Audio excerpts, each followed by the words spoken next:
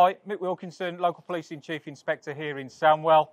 Just reflecting on what's been a really positive and productive Op Advance. We've seen some great uh, results working alongside our partners, policing teams from across the force, force departments, and also some of our volunteer sectors and our independent advisory group uh, to deliver some enforcement activity, reassuring our communities and targeting those individuals who cause us the most harm here in Sandwell.